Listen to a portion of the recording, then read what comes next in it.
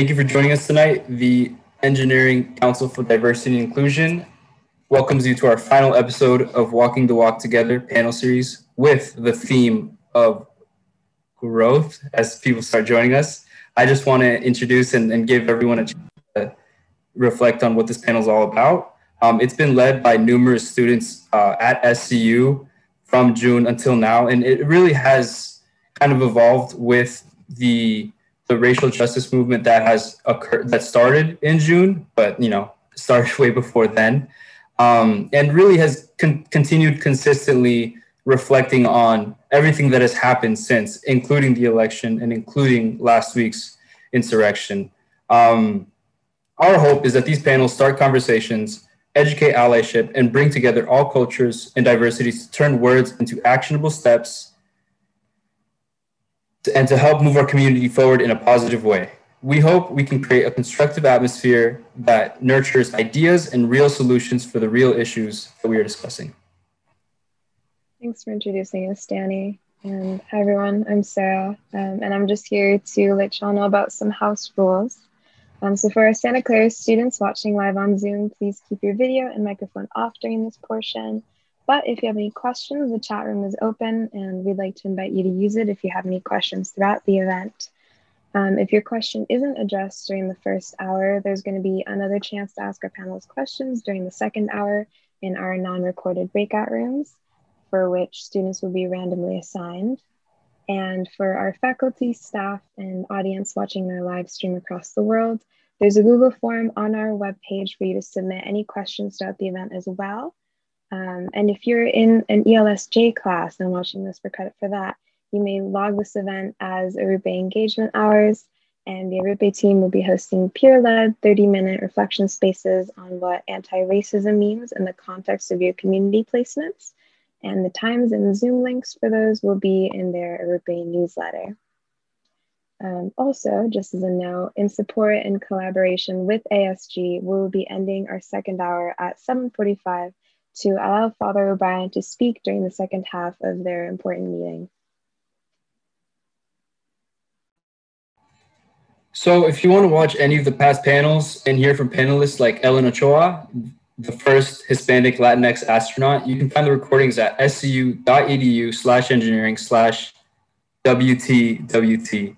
And before we continue on, I want to shout out all the students that have worked on this before. You know, it's not just me and Sarah. Um, there's been a whole lot of other moderators and people, you know, looking at the questions, figuring out what needs to be done for these panels. So I really want to shout out those other students as well. Um, you know, and then also everyone for making it through this these first few virtual quarters. As Ricky likes to mention, we are all first generation virtual learners. So that is really an accomplishment for everybody. You have earned your spot wherever you are, and you deserve to be here and you belong. And then before I forget, I need to introduce myself. I'm Danny Mendoza. You can call me Daniel, Danny, Dan, whatever you prefer. Um, and I'm a senior from Thousand Oaks, California. I'm studying electrical engineering with a minor in sustainability. And I'm one of the two co presidents of the Society of Hispanic Professional Engineers, or SHPE for short. And our other co president, Sarah, will also be introducing herself. Hi everyone, I'm Sarah Lopez and I'm also a senior from Cupertino, California. I'm studying computer science and minoring in music and in math, and I'm the other co-president of SHPE.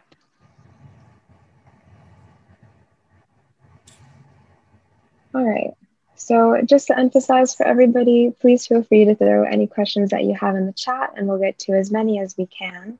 And now it's time to introduce our guest panelists. So panelists, as we say your name, uh, it'd be great if you could also take a little minute to tell the audience a little bit about who you are. Um, so let's start with our panelist, Lisa Kloppenberg. Thank you very much, Sarah. Happy New Year, everybody. It's such an honor to be here. I've tried to catch as many of these walking the walk together as I can.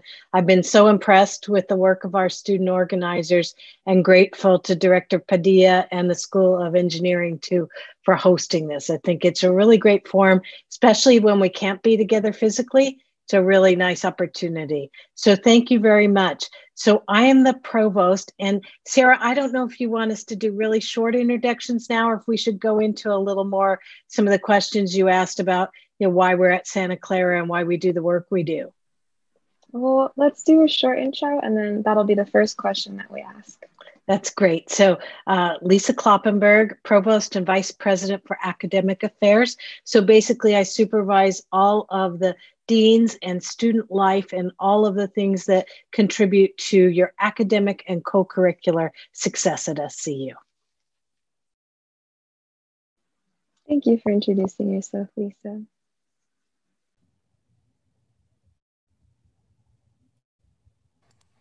Next up, we have Eva Blanco Macias. Mm.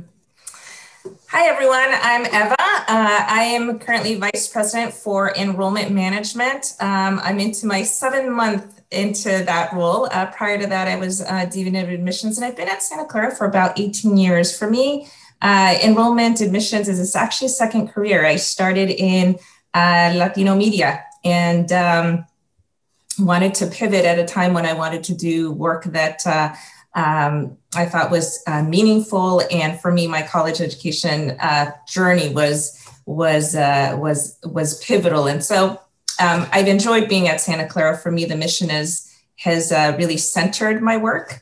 And um, I'm, I'm really pleased to be here um, and to see all of you. And uh, Ricky, uh, thank you too for all your support to this program. And to all the work you've done uh, during the time you've been at Santa Clara. We've been a great ally, certainly to enrollment and admission. So I'm um, happy to be here tonight.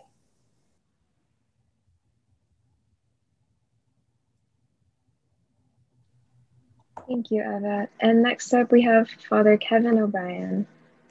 Uh, hi there, Kevin O'Brien. I'm president of Santa Clara University.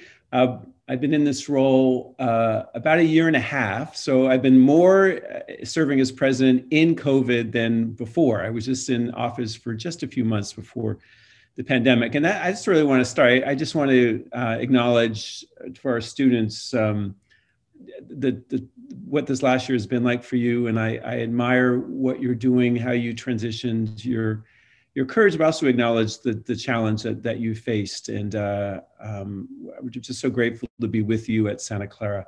Before becoming president, I served as dean of our Jesuit School of Theology in Berkeley. And before that, I served um, a decade in Washington at Georgetown University. Thank you, Father O'Brien. And finally, it's my pleasure to introduce Erin Kimura Walsh. Hi, thank you so much for having me tonight. Uh, my name is Erin Kimura Walsh. I'm the director of the LEAD Scholars Program, which supports our first generation college students at Santa Clara University. Um, I've been in this position overseeing the program kind of in various titles uh, for the past 11 years. Um, I'm also a Santa Clara University alum, so I graduated class of 1998 a little while ago. Um, and I'm zooming in from Redwood City, California, so about a half hour north of campus, um, and at home uh, living here with my husband, who I met in Swig Hall, which is one of our residence halls on campus. Um, he and I are both alumni, um, and we have a couple daughters uh, who are who are with us as well, a nine-year-old and a 12-year-old, um, who are doing Zoom Zoom classes. So a lot of family time together for the past year or so, almost a year now. So it's great to be here tonight with all of you. And, you know, just to echo, you know, f- what Father O'Brien said, you know, just, you know, want to acknowledge how challenging, you know, this time has been for all of us and especially our students. Um, and, you know, just, just happy to be here, you know, and, and have this, you know, and get to share in community with you and conversation with you tonight. Great. Thanks, Erin. And thank you, everybody. Before we get started, um, let's do like a super quick breathing exercise to release any nervousness or tension. Um, I'll, I'll, I'll lead the pacing, but um, we'll take 10 deep breaths together. So in, out, in, out, in. That's three. Four, in, out five, in, out, six, in, out, seven, in, out, eight, out, nine, in, out. And I think that's 10 if I did my math correctly. All right. So let's go ahead and dive in. So, panelists, you don't have to answer every question or any question that you are not comfortable with. Uh, so let's just so just go ahead and jump in wherever you have something to add. Um, we don't have to follow a specific flow of questions. So please, if any other panelists or Sarah or I mention something of interest of you, please, please, please feel free to jump in and say what you have to say. Um, but yeah, we're going to start with a very general question. Um, the one, Lisa, you had been asking for. what is your why? Uh, what? Why are you in the position you're in? Why did you want to be in that position? And how has your life and background helped you in your position? Anyone go ahead. Thank you. I guess I'll jump in, uh, Danny. So, um, you know, I'm at Santa Clara because of the Jesuit mission. That really resonates with me. This idea that we are together trying to create a more just and equitable world. So, um, you know, this series is part of that. And so um, I'm really, that's kind of what motivates me to be here. I'm in higher education because I really believe, as Eva said, that education is such a, a big part of equity in our society, opportunity for people trying to create a, a more fair playing field. So, my mom um, was born to immigrants and she had to leave school after eighth grade because there were seven kids in the family and she was the oldest girl. So she had to help support the family. Um, and one of my grandparents is from san salvador. So that for me that the all the issues around immigration and access and equity are really critical. So um, i'm not technically first generation under Erin's definition but i certainly you know have this great belief that our democracy is not going to function well unless it's inclusive and welcoming of all including our international students right? And our refugees and all. So that kind of drew me to law um, and then i was dean of our law school for uh, six and a half years before i became interim provost and then about march i became provost right before unfortunately we had this uh, kind of closed down campus So says a, a little bit get started on kind of what really matters to me and why I do the work I do.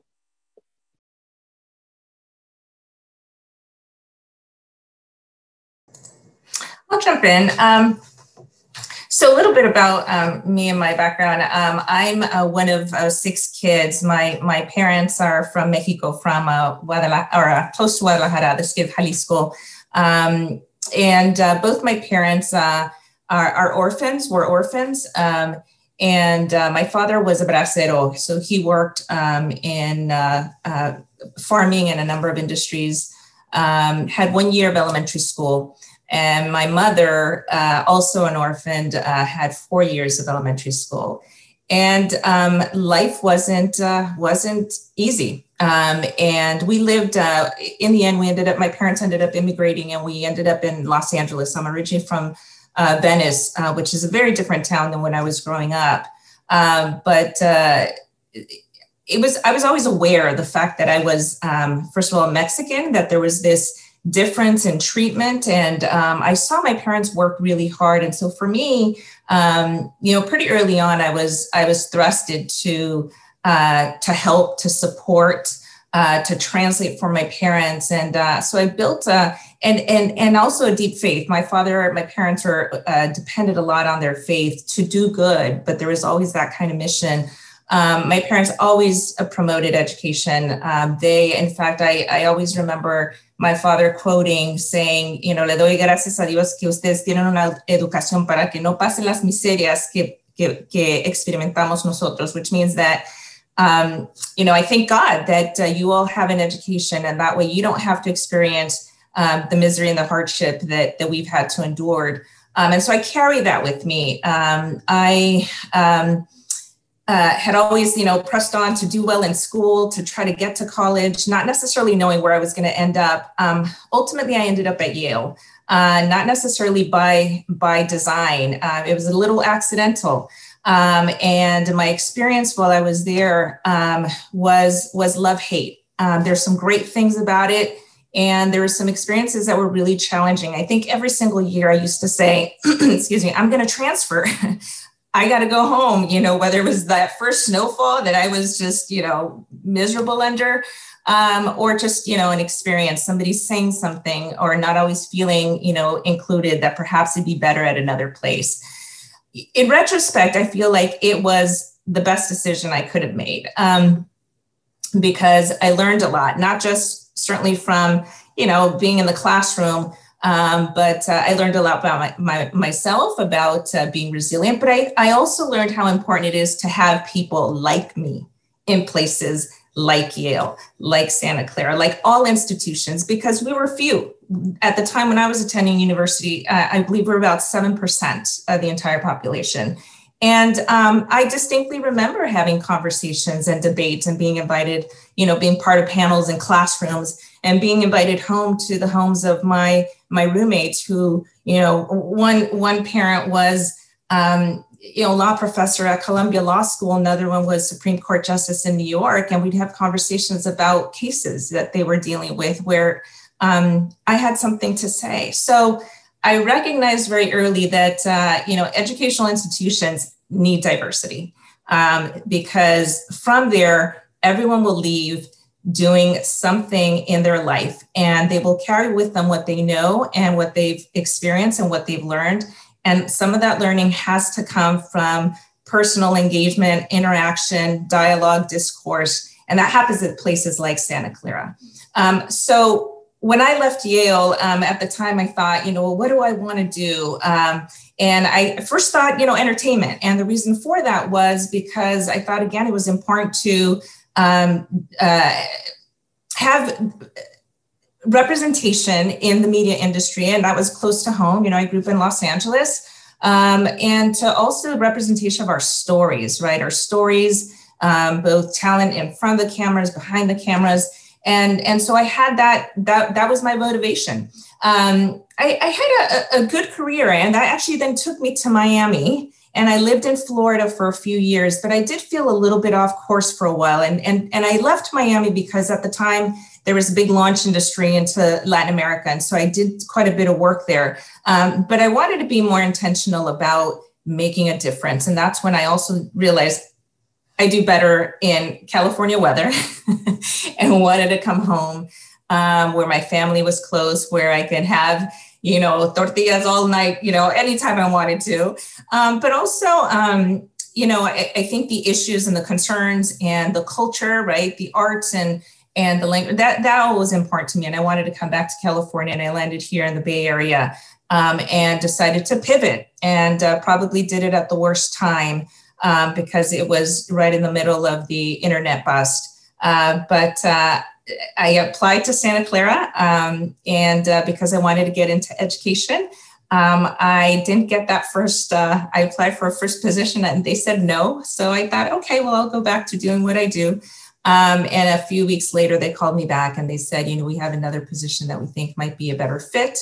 Um, and I started off doing uh, recruitment uh, for transfer students and I've been here ever since. I think it's been for me. Um, I've I've grown a lot. Um, I was able to certainly to parlay what I had gained um, from college, from you know my my my first career to then um, you know to now then playing the role that I do, and and it's been a growth process. And um, now that I'm here in this role, um, you know I'm, I'm I'm excited. I think at the same time you know, there's obviously, I think, with everyone, a lot of uncertainty about the future. But I, I see, um, you know, the, that Santa Clara um, is looking ahead, um, that we are trying to become an anti racist campus. Uh, that we are gaining or wanting to become more diverse. I think that's an imperative. I think when I look certainly from the demographics, um, California and certainly the country is is more diverse, is becoming more diverse. And so, for about an institution that's to educate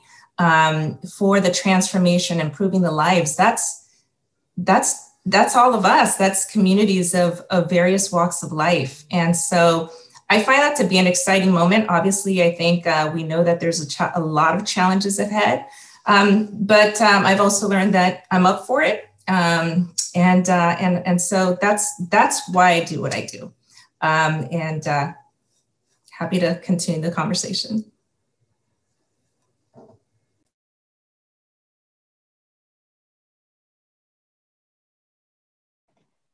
Should I go ahead then? I guess I'll go. Um, so let's see. So I guess, you know, when I look way back, so I'm originally from Seattle, Washington, um, and, uh, grew, you know, grew up there. Um, and I, you know, I look back, I, I had a real, I guess, a, a, a wonderful um, K through 12 experience um, at the public, in the public high school system um, in Seattle. And I had a very diverse um, friend group um, especially in elementary school. Um, most of my friends were African American, um, and you know, and you know, we continued on together, um, you know, through our K through 12 experience. But I saw them less and less in my classes. Um, and at the time, I didn't really understand what that was, what, what this experience was. I just knew that they weren't in my classes anymore. Um, and you know, as I look back, right, you, you know, I I now see, oh, that that was tracking right? That was this assessment of children based on, you know, their income level, based on the color of their skin, based on, you know, perceptions about their their potential and and and you know and their academic ability, and you know, and they were tracked out of the classes I that I that I was um, that I was in. Um, and so, you know, I think, you know, that experience, you know, my experience with with such a diverse friend group was such a gift, right? I think it gave me all of these kind of skills to engage with, um, understand the perspective of just you know the you know so many people who are who are out in the world, right, and and the many different backgrounds um, that people have, um, and I think it also gave me this really you know um, intimate understanding, right, of of um, the um,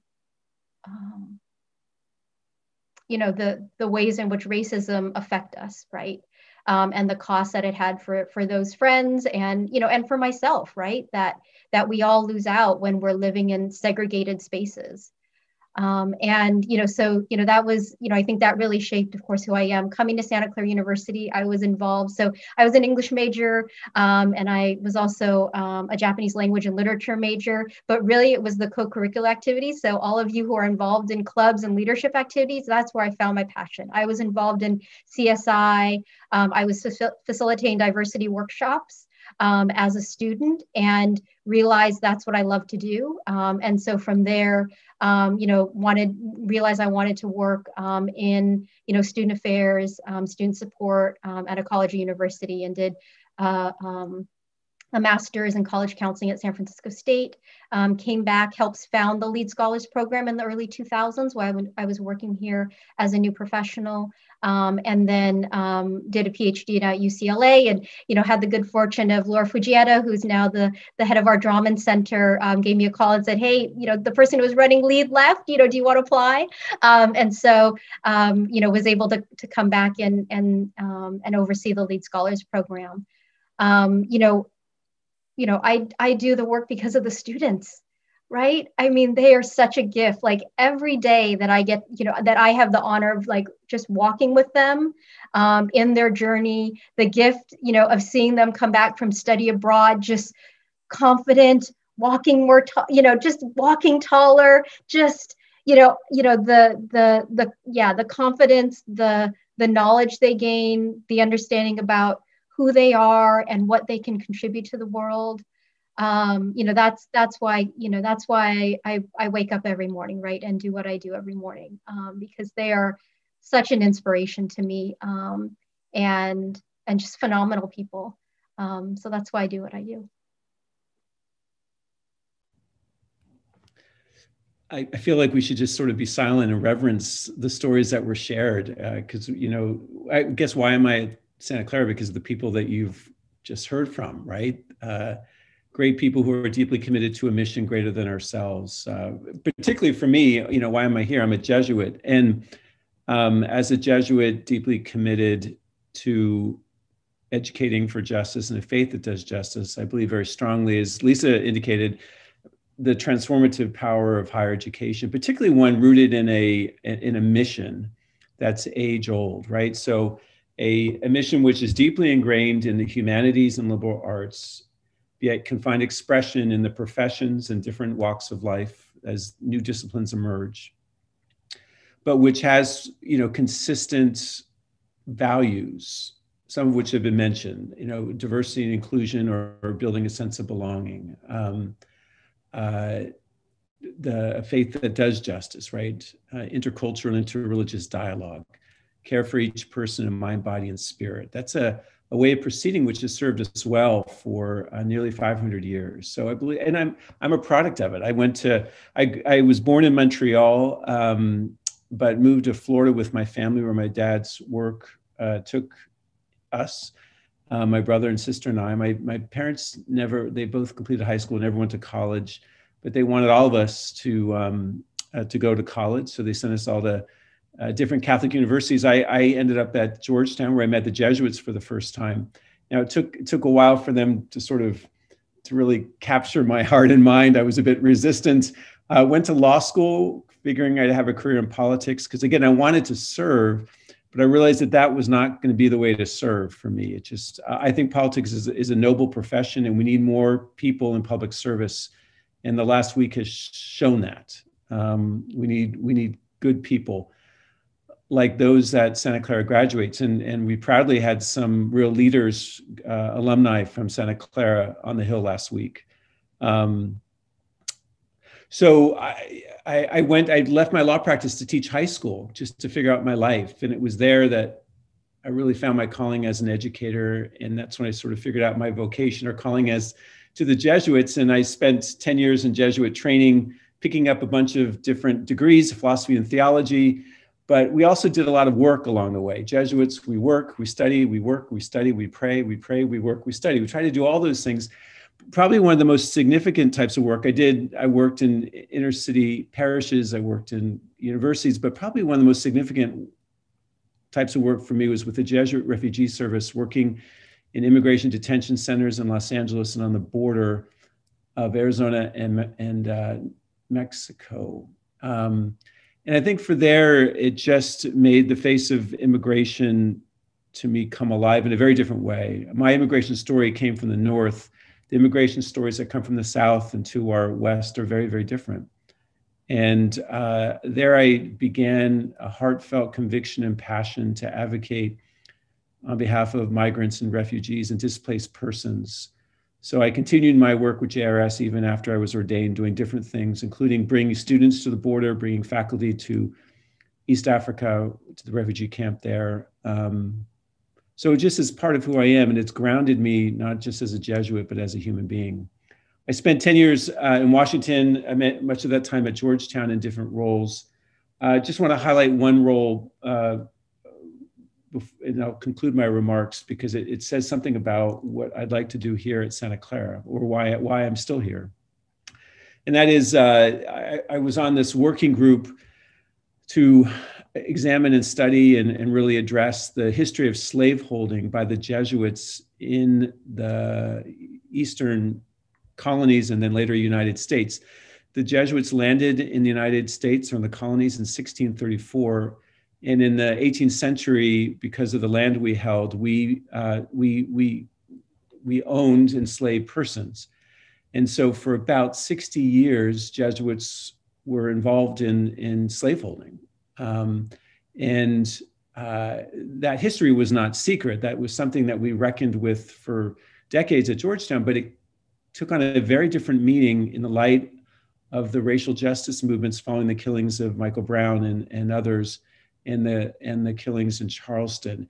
And that, uh, as this as the, the, the movements for racial justice quickened uh, in the night in 2014 and 15 the, the conversation about our history was deepened.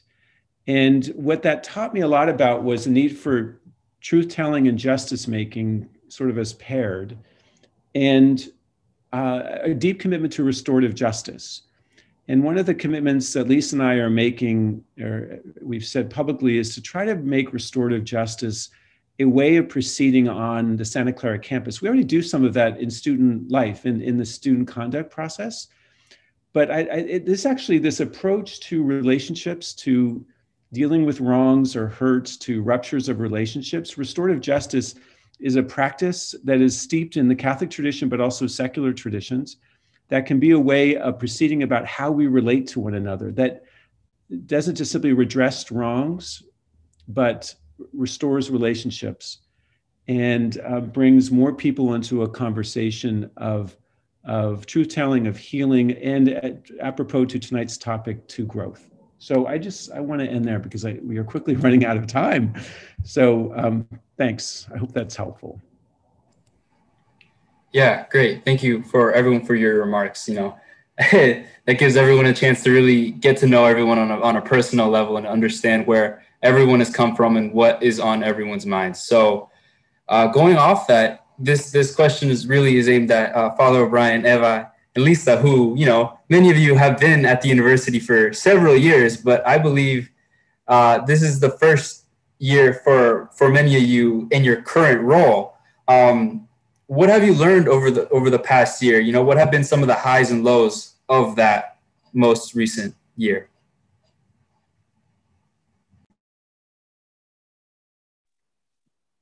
I don't always want to go first. Eva or Kevin, do you want to go first? Sure. Um, well, um, where do I start? Um, I'll, I'll just pick a few. I mean, one you know, honestly, I think as I look back as to where we are and, uh, um, you know, where we started, certainly when, when we went into sheltering in place, because that moment in time went pretty hand in hand with my coming into this position, to be quite honest. Um, so, it, you know, I, I, I think I, I, I'm pretty, I'm really proud about where we've come. And certainly when I think about my team, the, enrollment management team, and that's everyone in admissions, financial aid, and the One Stop Enrollment Center, because we're at a time where we're about to open up the campus and invite the next uh, group of students to come take a look. And we very quickly had to shift. And so there's just an incredible amount of resiliency, of, of teamwork, of commitment to what we were doing um, at that moment in time. And, and I think that we then we're able to transition um, really beautifully. That doesn't mean that it didn't come with its hardship and its challenges as we all were, you know, grappling with the realities and our different family situations. And, and you know, seeing what was happening in our communities with our students who then in the end couldn't make it to Santa Clara for a number of different reasons. Um, and so I think it, what I learned was just how even more important it is to, you know, double down on the work that we do and the and the mission. And not to mention then looking ahead as to what this all the crises that have we've endured that you know uh, continue to manifest themselves in a number of different ways um, there's more work to be done. And um, you know I, I, as i process that i think that um, you know it, it, it creates a, a, a pretty uh, pivotal moment for us even in an institution because you know the history of institutions is is to just transform students but but for the uh, betterment of society of our world. And so here's this crisis that has left our world very different. Um, and uh, so that's both exciting it's it's scary and and i don't have the answers but um, i think that uh, I, I, feel like i'm in good company. And uh, I think it's it's revealed a lot of just this, the strength that people in our community at Santa Clara have the commitment, the friendships, um, and the bond and, and the will to, to, to move forward. Um, despite, you know, again, the challenges and, and because it has been difficult. Um, I don't think, uh, had somebody asked me that, you know, you're going to experience this and, and uh, still be standing, I don't know if I would have believed that. But um, again, I've have found a lot of strength in the community. Um, and so I think um, that that has been um, it, it, renews and restores um, again both my commitment and, and my energy to keep moving ahead. Hmm. it's actually it's a really great question um, because i think we all need some distance from this in order to really fully appreciate you know what have we learned? How have we grown? Because we're still in the midst of, of it, both the pandemic and for me, the last year, my, my first year and a half, really, the you know the twin pandemics, right, of the COVID and of racism. Both are, you know, I'm living through. We're all living through both of those together, and there's certainly overlaps in the impacts. Um, so, in one sense, so close to it that you know, in Jesuit spirituality, it's very important to be attentive to what we call the interior movements of the soul, which are basically all the stuff that happens inside of us the, the desires, the reactions, the feelings, the emotions, the strong insights, all that stuff in our interior landscape. And I, I'm, I try to carefully discern like these the impact of what I'm experiencing on the outside. And there are moments of such deep um, sadness and loss, anger, frustration, which I'm, all of us can relate to in different ways. But I also have to say, I've been amazed at moments when I've allowed myself to feel them of great hope and confidence. And the confidence comes, the confidence comes from the people that I'm with. I mean, folks like Erin and Eva and Lisa. And mind you, I offered the job to Lisa when the in the midst of the pandemic. And I offered the job to Eva in the midst of the pandemic. And they both said yes to those crazy offer. Um, I said yes to this job without the pandemic even in mind. And I wonder, like, would I have done it? I, am grateful that God has invited me into this journey, this challenging journey for Santa Clara. And it, I have confidence because of the good people I'm with. I have great hope, which is a little different than confidence, but I have great hope because of this mission that is bigger than all of us we're going to be better. We'll be better as a country and as a campus because of our honest reckoning, but with the twin pandemics, with both. I think we'll be better if we go about it in the same way, honestly and courageously and um, generously. I think we'll be better. Wow, thank you. Those are both really hard to follow up. Um, it's been an incredible time of growth. I think almost every day I find myself having to kind of take those 10 deep breaths, Danny, and, you know, really rely on God more than ever. I think it's really strengthened my faith because there's so much I can't control. You know, I, a bit like an engineer, I like to have my lists and my structure and control. And there's a lot that we can't have like that now. Um, so it has been a real growth year. And, you know, uh, I'm really sad for our students, you know, the fact that we couldn't have graduation in person, that we couldn't be on campus together in person for so many important moments. We couldn't welcome our first year class in person.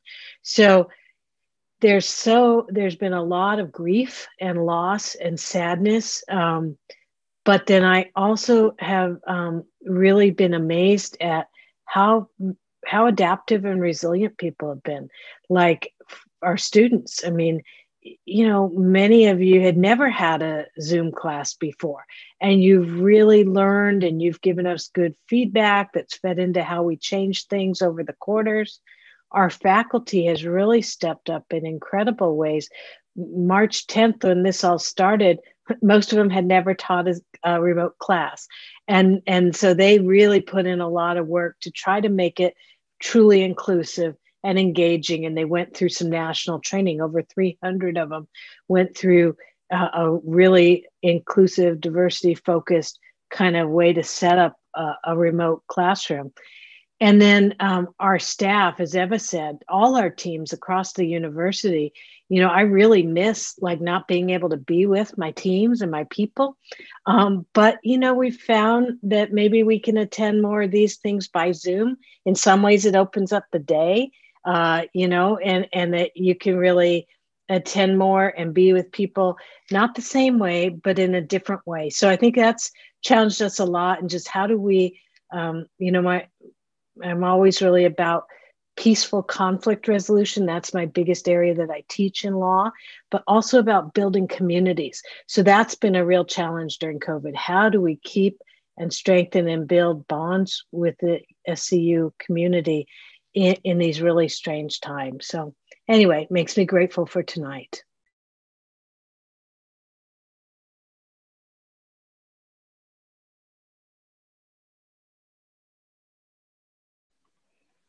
Thank you for your responses, panelists. And it's Yeah, it's really insightful to hear you reflect on on the past year and the things that you've had to face. And kind of along those same lines, we had a question to kind of follow up on an event that happened previously this year, um, which was run by IASAC, and it was their diversity forum.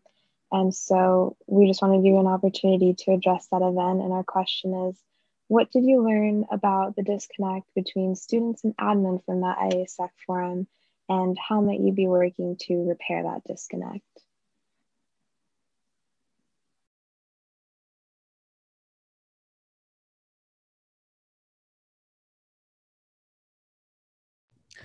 Uh, so I think one uh, one was the the need to make sure there's effective communication um, between uh, student and, there, and, again there's so many different student groups and um, and so many different ways of communicating that that I think it from one one one of the things to learn was ensuring that there are effective communication channels that are not just and I've we've talked with um, uh, the leaders of ISAC about this previously that so that communication doesn't just happen once at uh, a forum like once a quarter, but that there's more ongoing communication.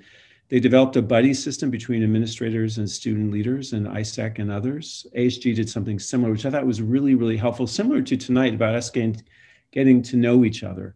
Um, uh, and so I think in us to understand the different ways that students communicate. Again, you know, some are sometimes there's an email culture here, sometimes social media, and uh, how can it be more interpersonal? Um, and again, that's all complicated with doing things remotely. So that's one of the things um, that I learned about that. Um, uh, to need to communicate effectively with different channels of communication um, and appreciating different styles that people wish to communicate and can understand.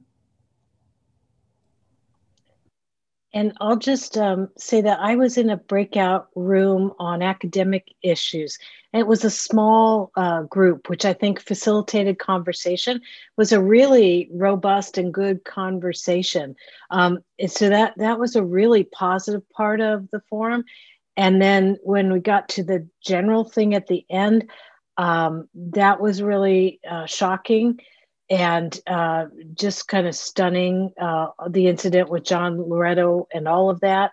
And so uh, I'm not sure exactly what you mean about the disconnect, Sarah, if there's a particular part of that um, that you want us to reflect on or anything. Um, but I know that that was really shocking, really stunned me. And then I know Father O'Brien had to leave the call at a set time. So it all, the end of it felt to me really uncomfortable and I was really um, kind of sad and disturbed by that.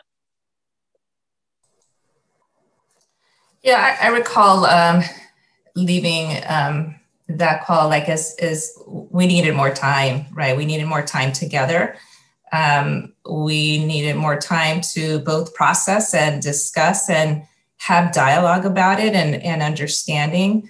Um, clearly, you know, I think with the um, Blue Lives Matter um, image, and um, there's a disconnect there, right? And while um, you know the, the, parts of the stories um, I heard of of why that happened, you know, I, that's not to discount you know what people believe to be true, with no intent to necessarily harm each other. but the harm happens, and it's it's really important to understand why.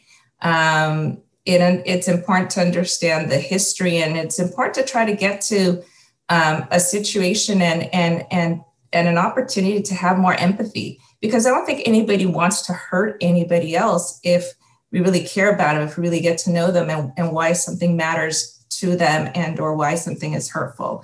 So I, I I felt like there needs to be somehow more of those opportunities. I know that, you know, certainly in the classroom can be one place, but as a community, and we're not, you know, we're not a 30,000 uh, student university, you know, we're, we're, we're a community. And I, I think that there is that opportunity for us to uh, find just a better way to, to engage and have a conversation. I know we live in a world of, you know, digital communication, but uh, I really do miss just the, um, the human interaction, a phone call, um, a sit down, let's have some coffee.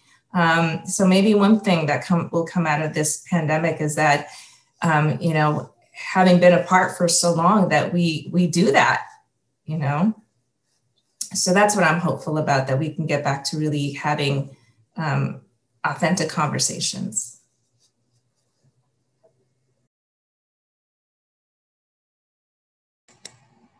It sounds like a lot of the theme of, of what could what we could do about this is, is the effective communication the empathetic communication engaging conversation. And a follow-up question i wanted to ask about that was p- particularly focused on the way in which the students and the university communicate with each other. Um, as you mentioned father o'brien we do have an email culture and often a lot of really important information is what is on those emails. Um, and often, you know, students feel like it can be buried, that this very important information can be buried deep in those emails. Uh, and then also the web pages as well. You know, what are some ideas about, and I know there have been ideas, what are some of the ideas about how the university can evolve, or, or not just the university as a whole, but like different groups within the university evolve and, and kind of change its communication strategy to meet the students where they are.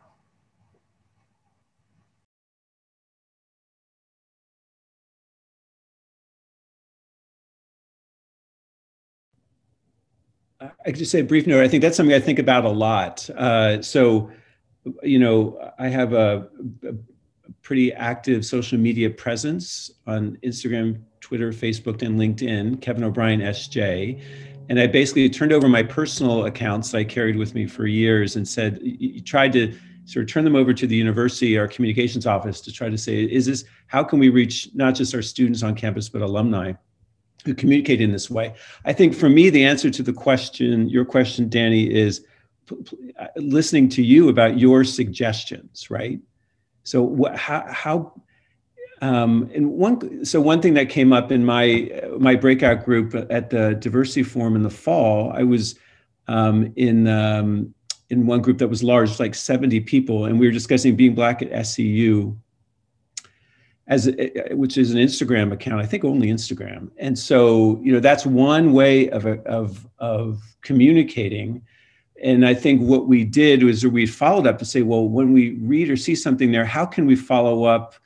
If we don't know who the person is because we want to be responsive but yet the person may find that the that they want to remain anonymous or that's the best way to sort of get their concern out.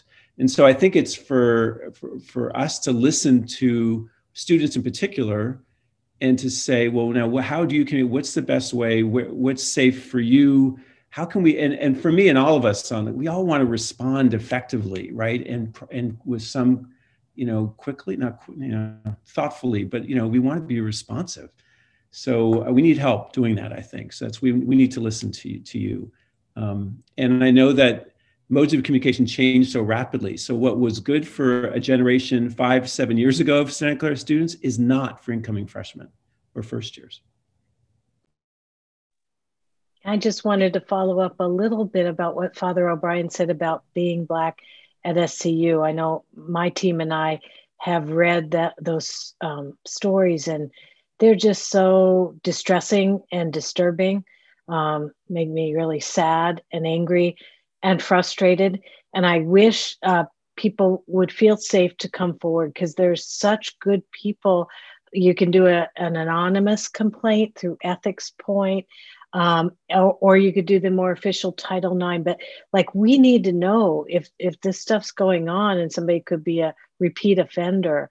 You know, it, it there we need to know. And and I also understand that it's really scary to um, make a complaint about a professor or somebody in power.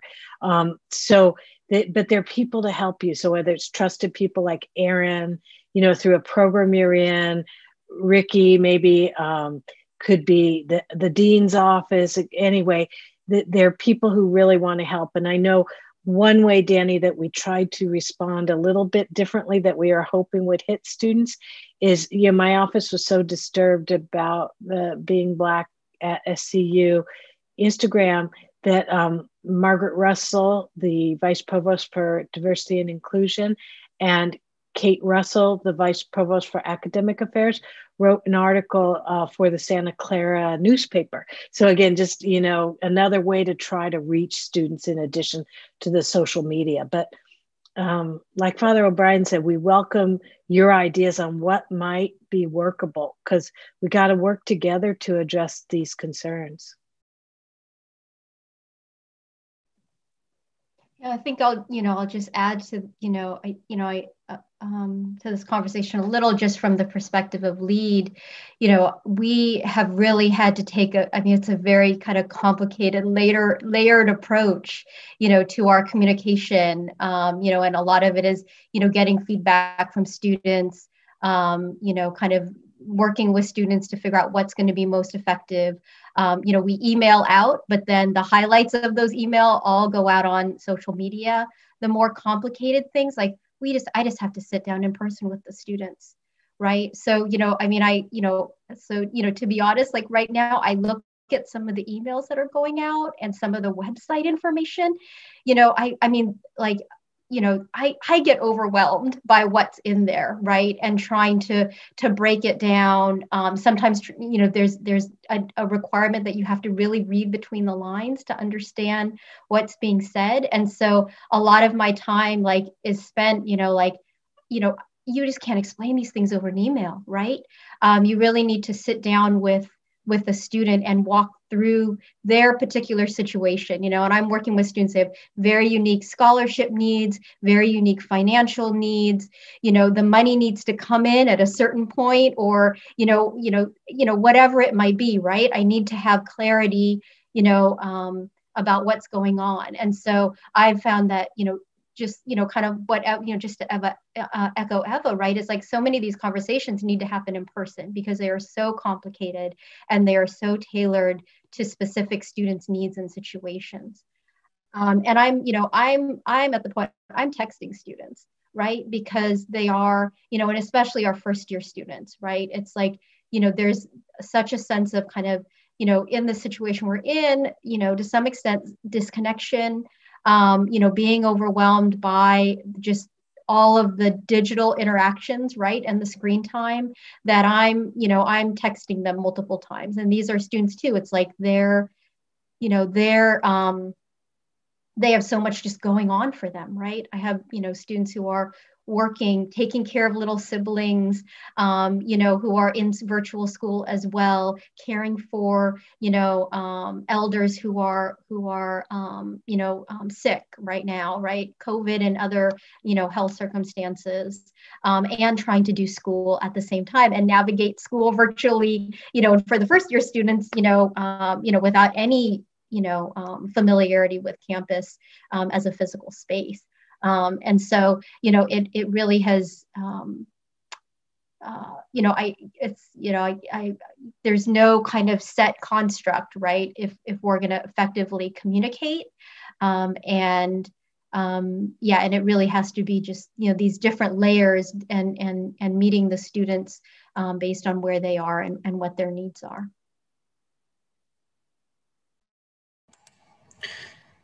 Sarah, sorry, go ahead. Good, Danny. I just wanted to thank our panelists for those thoughtful responses. And I, I just want to ask a quick impromptu follow up. Um, and I acknowledge that, you know, all of these questions that we've been asking were sent to our panelists prior. So this is a little bit of an impromptu follow up. Um, but yeah, I just wanted to ask, kind of following up on Lisa and Father O'Brien's comments. Um, what do you think might be the reason or could you brainstorm some possible reasons why students may not currently feel comfortable coming forward through the channels that we have at Santa Clara University? So I, I know that nationally there's a reluctance to go to Title IX officers. And I can imagine that's even more heightened now after the Trump administration's changing of the rules where the system can be more adversarial. So I know that we've tried to put some safeguards in place at Santa Clara to make it truly as supportive as it can be, but it's we still have to follow the law. So I totally get that. Um, again, through Ethics Point, it's a 1 800 number, there's an email. You could do an anonymous complaint. And then, at least, for example, if you name the professor, that we can actually do some investigation, right? Um, so, but, but, you know, and so uh, as dean of the law school, I dealt with a number of incidences where students complained of racist comments in class or a particular professor on grounds of sexual harassment or race or whatever. And, and it's um, could happen in any department, any university, anywhere. And so we always took those really seriously and then leapt right in to, to make sure we addressed that right away. Because uh, you're also really trying to prevent harm to future students, right? And so uh, I know sometimes it's a it's a big trauma to carry yourself, and and they're they're you know on the sexual assault side, there's now going to be a victim's advocate, and so uh, you know, and hopefully you can find at least a trusted person who could counsel you on on the safest, most supportive way to bring it forward.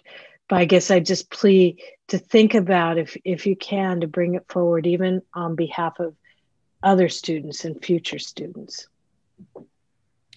Uh, yeah, briefly, Sarah. Thanks, Lisa. I think I, have asked, right? So I, I, don't want to speak for students. Who, so from, I'll, I'll, I'll, relate to you what I've heard from them, from some who who have explained this the, to me. One would be not, you know, not wanting to re-traumatize, so to go through whatever incident happened again, which is understandable.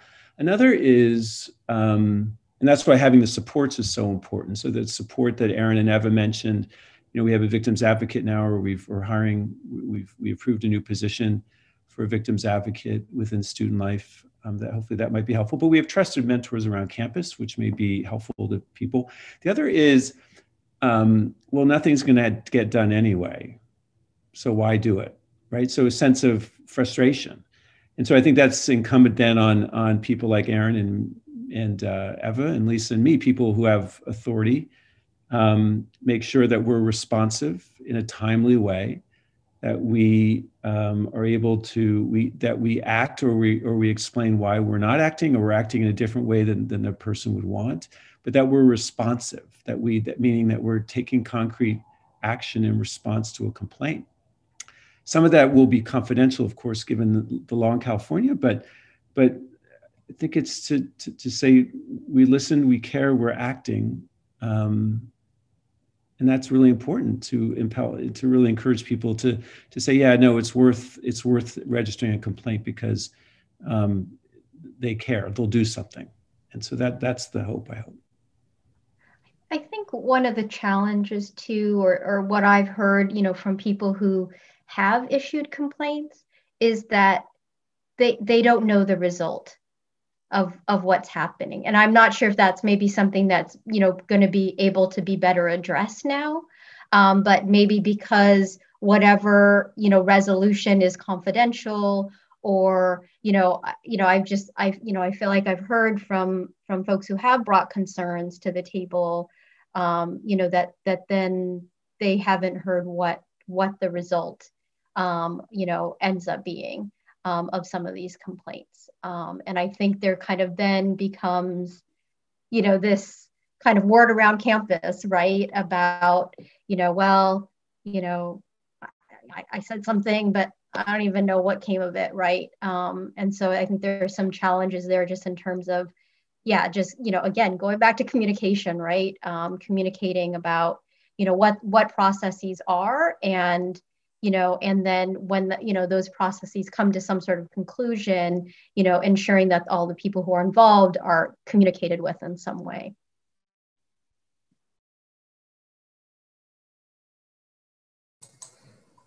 If I can add, I, think what, what is ongoing and what is new is also just, um, again, the, the communication will also keep help, um, helping um, the whole community professor staff faculty of what what is okay and what's not right what are those boundaries because we're talking about different gradations right and so um, a, a, lot of those are are microaggressions are are students feeling slight or you know, or, or don't perhaps in some ways feel like um, there's a reason to complain because what, you know, what do you do about it? Um, what's going to be done about it? But if we continue to have um, not just the trainings, but a very honest conversation about how we feel, how things make us feel, and folks um, acknowledge and accept that that is true and understand why, well, then maybe we can all, um, you know, be better about how we um, express ourselves, how we communicate, what we do, what we don't do, and, and have a better understanding. Again, what is acceptable and what's not, what's off limits in the classroom, in the way that we interact. Um, and I think that that's ongoing as well. And, and, and I'm optimistic that those that we've reached a point where we can be a little bit more honest about, about those topics without retribution. Thank you, everyone, for those really thoughtful responses. And thank you again for sitting down with us and having this meaningful conversation. Unfortunately, we're coming to the end of our time for our first live section. Um, and now it's time for our panelists' 30 second closing statements. And we'd like to start, please, with Erin. Um, great, thank you, thank you very much. Um, I really en enjoyed this conversation. Thank you so much for the opportunity to um, to talk with everyone um, tonight. Um, you know, I think I just want to echo um, what was said earlier. I think Dan, uh, Danny said it. You know that you know that you belong. I know that's harder to feel that right now, right? As we're all staring at each other at little screens, you know, in our homes or you know wherever we might be. Um, but you know, you you are part of this campus, right? You are part of this community. You're a valued part of this community right? Um, and you know i just want you to know that right? And and come to us reach out to us. You know uh, i saw you know it was really reassuring. We you know pivoted to an online virtual lead week. Um, and you know and our students still felt that sense of community um, with each other with their peer mentors. Um, and so i'm hopeful right that that this community it's not the same but we can develop a community and connection um, online. And so I just encourage you to um, to reach out. Um, you know, we want to help you, you know, feel that sense of belonging, feel that sense of community. Um, and I'll drop my um, my email in the chat if anyone wants to reach out. Um, and you know, follow us on social media at SCU Lead Scholars on Instagram and LinkedIn. and we still do Facebook. Uh, for those of you who are old school. So uh, we'd love to connect with you in any way that we can.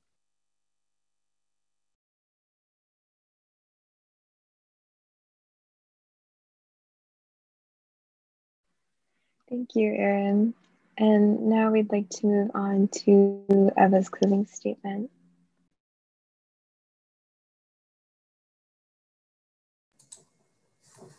Well, thanks again for for having me. Um, you know, I really can't wait to get back on campus and be able to see all of you um, and and be a part of of, of campus life.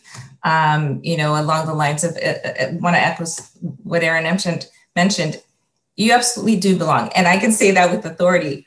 Admissions accepted you. You belong here. You've you have so much to offer. And and and this, um, you know, again, I, I truly believe that um, um, with everything that comes, good, bad, there's is a good outcome. And so, um, you know, the contributions that you bring, um, share them, um, contribute them, uh, to to those who you're close with, to to others who you may not have met before, but that is the opportunity now that we learn from each other. It's not just again the the the textbook and the lectures. It's about each other, and I think that that is the promise: is the human connection and that opportunity. So.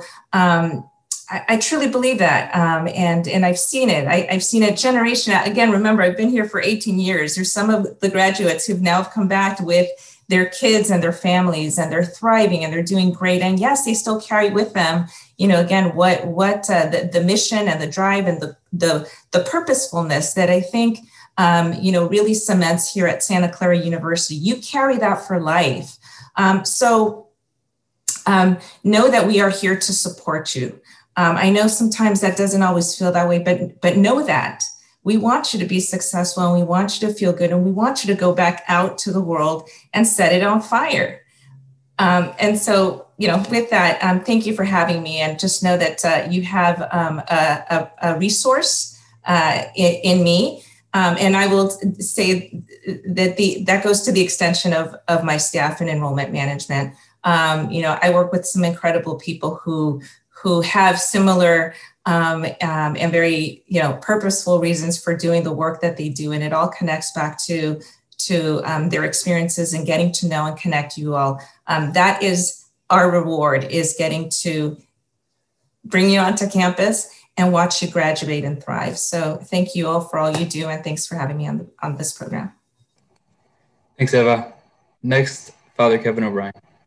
Yeah, so you know, as a Catholic priest, I don't have my own uh, children, uh, but I think part of the gift of of my work here and elsewhere has been that the students I've come to know, um, you know, I care deeply about as uh, as young men and women, sons and daughters, entrusted to me for a time, and that's why I take my care of each of you so um, so much to heart. Uh, and you know, given the, the theme that you've been at for this year, um, you know, I think a lot about diversity, and often we can think of it as some can think of it as a requirement, but for me, it's a gift, and more to the point for me as a Jesuit, it's an expression of God's creativity that we are all the better for honoring. So um, we're better because of you, because of the diversity that Santa Clara brings, and uh, that we need to honor. So thanks, everyone. Thank you. And last, Lisa Kloppenberg. Thank you very much, Danny. Um, again, just thanks to all the student organizers, Director Padilla, for this whole series. It's so important to have mentors and role models and to see what's possible in the near future. And, and I think that's this series has really made that possible. Um, and then I wanted to say thank you, as Father O'Brien said, each of you is a gift and you make us better. You make our whole community better by being here. So please, you know, be yourself and share the gift of yourself with all of us. And finally, I just wanted to say, you know, take care of yourselves. Last week was really crazy, not an easy week to the start of the term and all. And then next week, I'm so excited. What a historic day. We're going to have our first female uh, vice president, right? And a BIPOC vice president. I mean, it's amazing. Um, so, you know, there's reasons to celebrate, but also scary stuff going on in the world. So, do take care of yourself, take care of each other, and know that you're in our hearts and our prayers.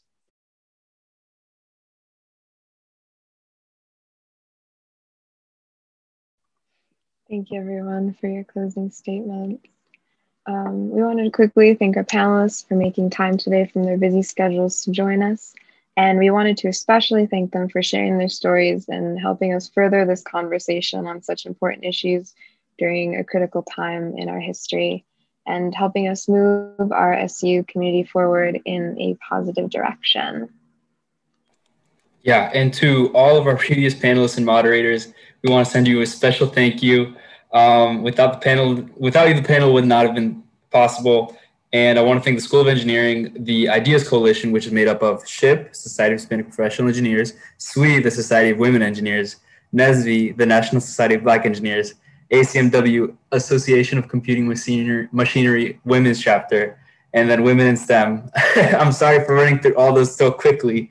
Uh, each of you deserve a lot more uh, time, but your various perspectives, wisdom, and advice helped us build up to today. And you know, thank you to every student, faculty, and staff from SCU and everyone across the world for tuning in. This event has been recorded and will be posted up soon on our website at www.scu.edu slash engineering slash WTWT. Want to make sure you get it right just so you don't miss it. Thank you, everybody. And just as a reminder to all of our SCU students on the call, if you're interested in speaking more with our panelists, remember to join us on Zoom shortly after this portion of the event for the special talk after the walk event with our panelists. This Zoom link was shared with you in your SCU email this morning by Ricardo Padilla Jr. Um, and to the, all the SCU community and general public watching our live stream, we hope you leave here today with more tools to turn on your thoughts, your words, into meaningful action to build up our community. So, to everybody, please be on the lookout for season two of the Walking the Walk Together in the future. happy 2021 to everyone, and I hope you all have a good night.